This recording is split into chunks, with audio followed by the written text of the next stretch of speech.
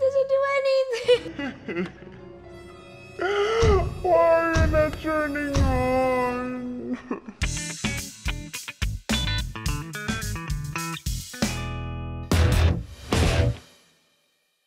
Welcome back, everyone, to BGC Dreams. If you guys have been hanging out in the city lately, you'll probably agree that it's quickly transforming into becoming Bonifacio Global Coffee. yes, that is correct. With so many coffee shops outside, I believe you are right.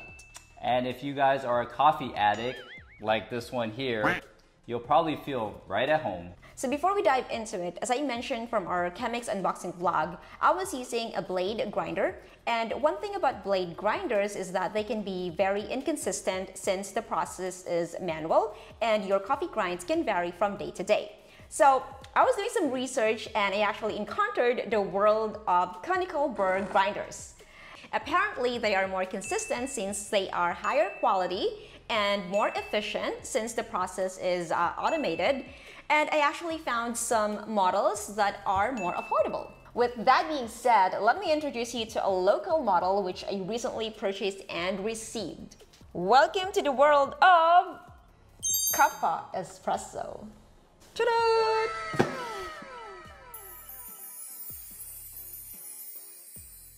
Let's go.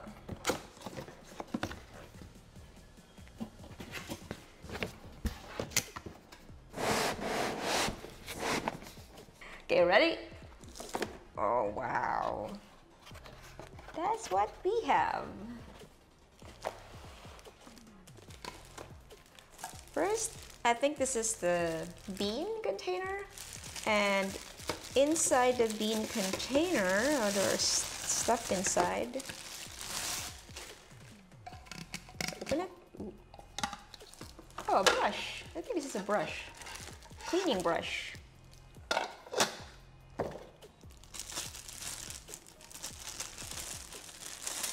Hmm. And next, uh, I think there are, there are holders.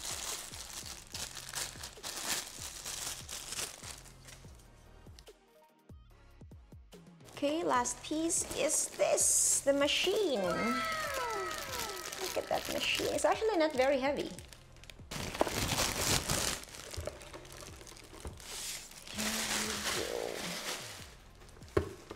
Oh, this is the collection container.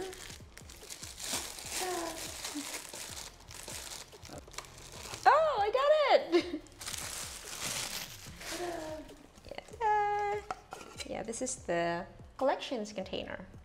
This is where your coffee grinds go. And here you can see the conical burr. And yeah, this one here, the timer.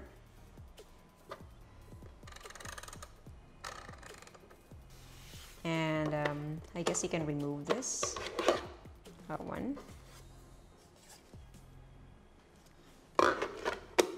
And here in this dial here is where you can change the size of your coffee grind. So from coarse to fine, so they actually go from 1 to 16, I guess. So here is fine. This is, I believe, for espresso, espresso coffees. And coarse is for French press. But since we are doing a pour over coffee, so I would just go to medium coarse. So I'm probably gonna try um, nine or eight, between nine or eight. All right, and those are the parts of the Cuppa uh, conical burr grinder. And right now, I'm just gonna set it up because I'm really excited to make my first ever coffee using the Cuppa conical burr grinder.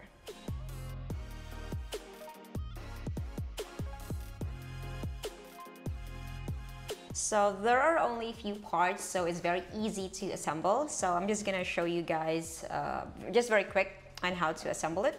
So this one goes here and it has to click. Did you hear it? so yeah, this is the coffee bean container and this one is the coffee grinds container. Uh, there's a cover here, so I believe you just remove this and turn it like that and make sure that this is open and just insert it. Ta-da! Okay, so I'm done washing the, the parts and I've already set it up. And well, welcome to my little coffee coffee place. it's uh, It looks very unorganized for now, but um, I'm already thinking about it. Anyways, uh, let's get to it. Um, I will be using this beans here. We actually got it from Baguio, so it's a local beans. So local beans and then a local machine. We love locals. so let's try it. Uh, I'm just gonna fill this up. Oh, I love the sound of beans. Should I fill it up to the brim?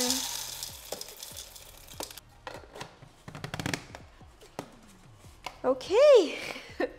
Why am I nervous? All right, okay, so this is plugged in and is on. So since I will be doing a pour over coffee, I will just be using medium coarse. So let me try eight and um, I will be doing that for 20 seconds maybe.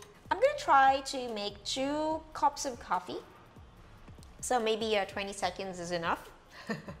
I'm not really sure, so I'm just like eyeballing here. I'm just gonna try which one will work. Well, this is my first time using this, and um, as I've mentioned from my previous vlog, it was my first time using the Chemex as well. So I'm just really like, you know, trying out like different ratios. Okay, let's do this. I'm just gonna click this little button here. So the power button. You guys ready? Ah! NANI? Oh no! Guys, as you can see, it doesn't turn on. I've checked everything. I mean, the power is on.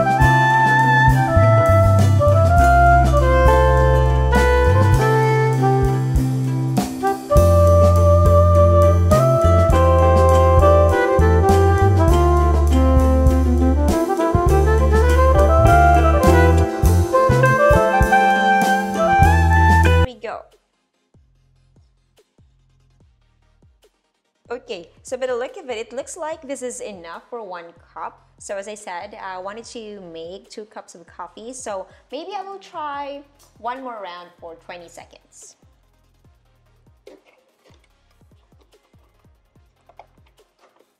Okay, so one more round for 20 seconds.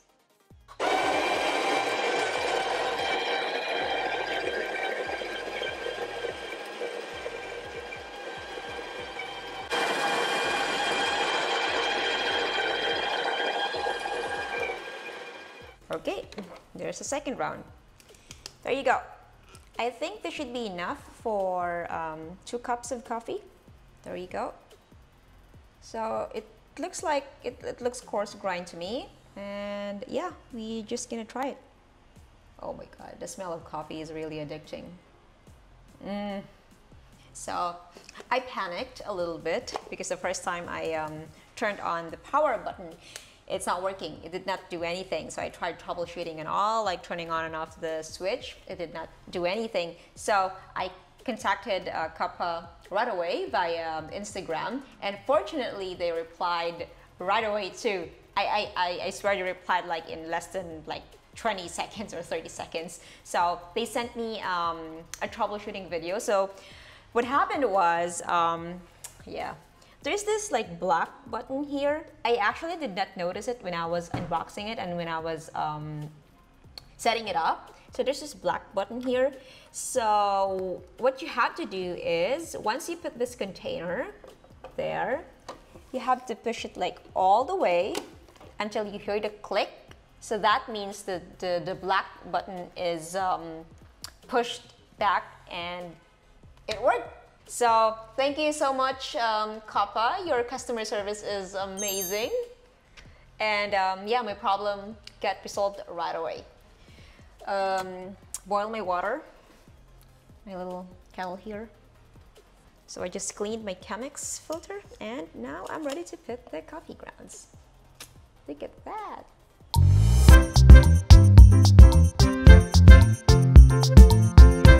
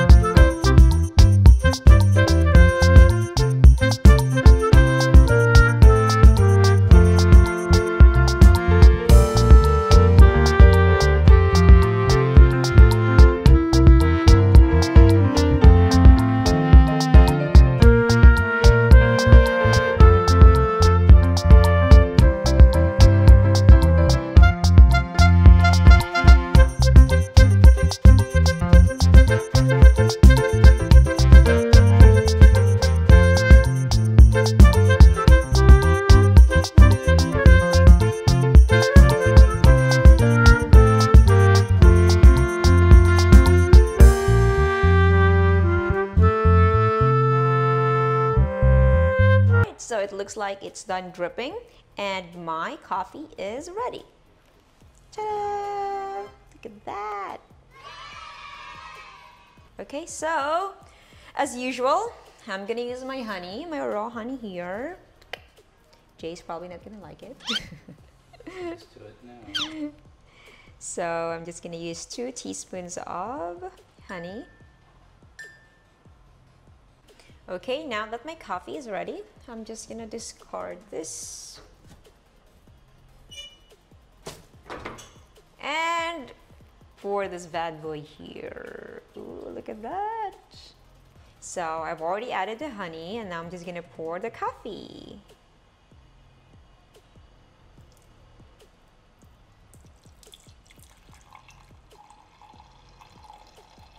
I am really, really excited to try this.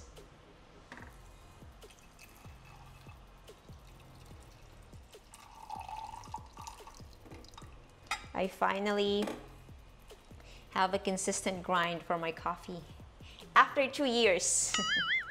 and lastly would be my milk.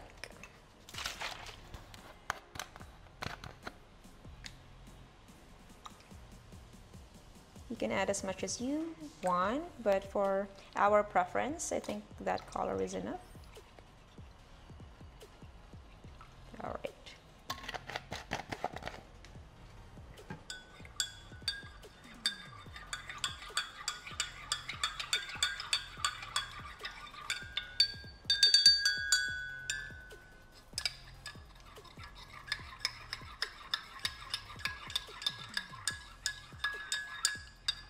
Jay's back. All right, I'm back for my favorite part, the taste testing. Cheers. Cheers.